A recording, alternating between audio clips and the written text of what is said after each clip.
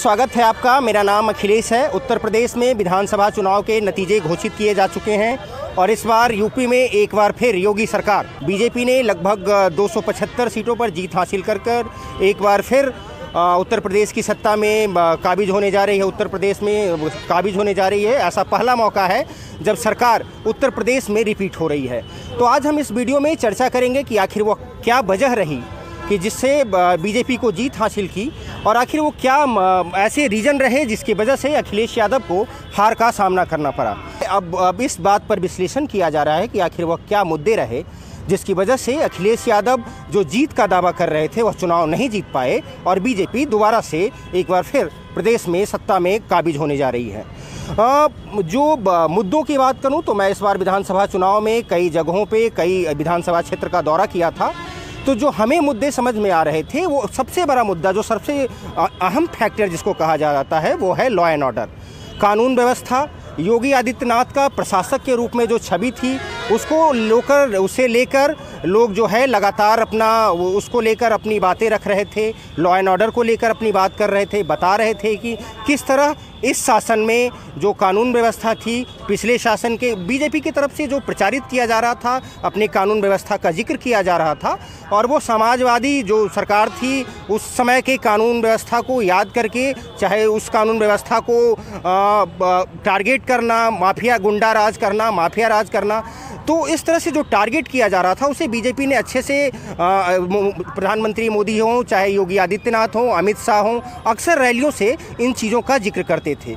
तो माफिया राज और जो गुंडा राज था, उसकी बात कर कर समाजवादी पार्टी को बीजेपी की तरफ़ से टारगेट किया गया। एक अहम फैक्टर साबित हुआ और एक प्रशासक के रूप में जिस तरह से कार्रवाई की गई जैसे अवैध कब्जे थे बुलडोज़र की बात हमेशा ज़िक्र की जाती है यूपी चुनाव में बुलडोज़र का ज़िक्र होता है। तो इस तरह से जो कार्रवाई हुई प्रशासक के रूप में योगी आदित्यनाथ की छवि को लोगों ने पसंद किया। ये एक अहम फैक्टर जिसे आ, कहा जा रहा है कि जिस वजह से यूपी चुनाव में बीजेपी को जीत मिली है।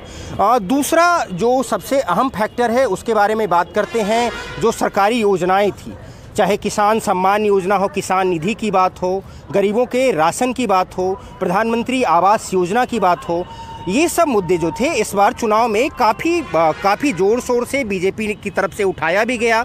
लोगों, जब मैं लोगों से बात कर रहा था तो यह मुद्दे ज़मीन पे भी दिख रहे थे। लोग इसके बारे में खुलकर बात कर रहे थे। लोगों का कहना था कि हमें आवास मिल रहा है हमारे राशन योजना के थ्रू हमें अनाज मिल रहा है। इसके अलावा जो किसान निधि की बात है, किसान निधि के नाम पर जो पैसे दिए गए, दो हज़ार रुपये किसानों को दिए गए तो ये एक अहम फैक्टर चुनाव में, ये भी एक साबित हुआ। अखिलेश यादव के साथ बात करूँ तो अखिलेश यादव चुनाव क्यों हारे? अखिलेश यादव की रैलियों में तो काफ़ी भीड़ दिख रही थी काफ़ी संख्या में लोग आ रहे थे।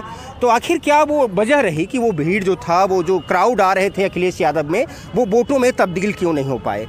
तो बीजेपी का जो प्रचार रहा बीजेपी की जो स्ट्रेटेजी रही बीजेपी की जो रणनीति रही वो इस पूरे चुनाव में अखिलेश यादव के भीड़ वाली रैली हो चाहे अखिलेश यादव का जो प्रचार प्रसार हो उस पर कहीं ना कहीं हावी दिखा। आ, बहुत सारे ऐसे मुद्दे हैं, जैसे प्रथम चरण से लेकर सातवें चरण तक के चुनाव की बात करें तो पहले चरण में जिस तरह से पहले और दूसरे चरण के बाद कहा जा रहा था कि बीजेपी जो है पहले दूसरे चरण में अच्छा प्रदर्शन नहीं कर रही है। मगर बीजेपी जो साइलेंट वोटर की बात जो की जा रही है यूपी चुनाव में, कहा जा रहा था कि जो साइलेंट वोटर हैं, वो इस बार चुनाव में काफ़ी अहम भूमिका निभाएँगे। तो जो प्रचार प्रसार किया जा रहा था, जो भूमिका बनाई जा रही थी, उस, वो कहीं नहीं दिखा। सपा की तरफ़ से दावे ज़रूर किए जा रहे थे कि हम पहले चरण, दूसरे चरण में लीड ले रहे हैं, लेकिन जब परिणाम आए तो ये परिणाम बीजेपी के पक्ष में आए।